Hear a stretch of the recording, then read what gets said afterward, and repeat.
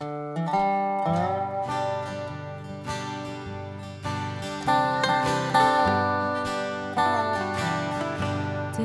fins et hjerte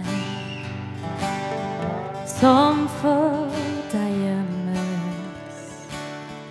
Du er med fanget i syndens barn.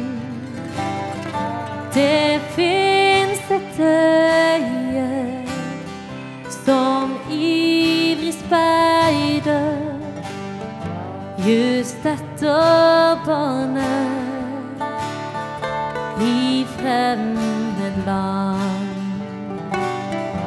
Det fins et øre som ned seg bøyer, som hører dem som hjelp vil ha. Det stemme som taler kjærlig til den forkomne som fange er.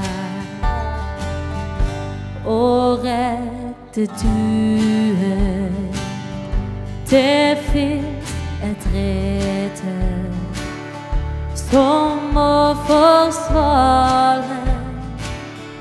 Det finnes ord for deg du trette.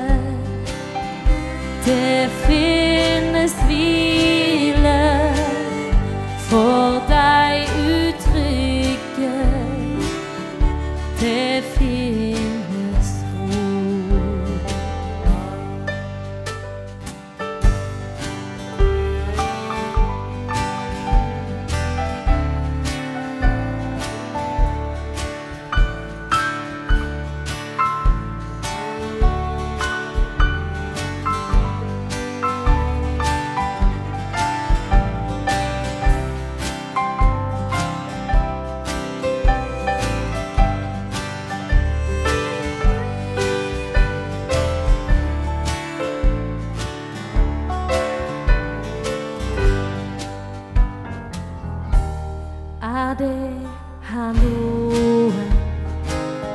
Som nå behøver den hjelp som alltid er ganske nær?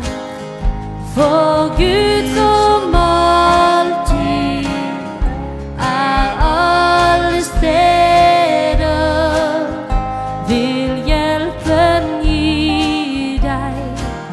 Han har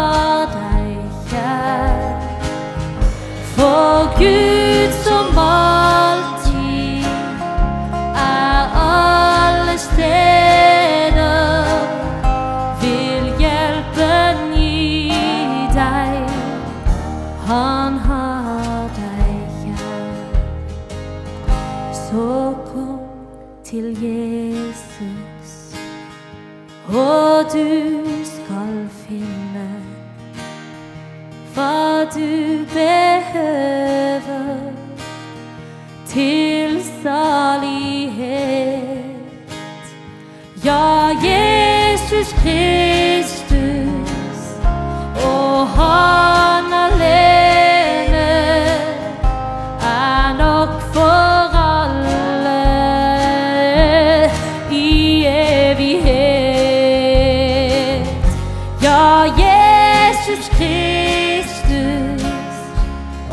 how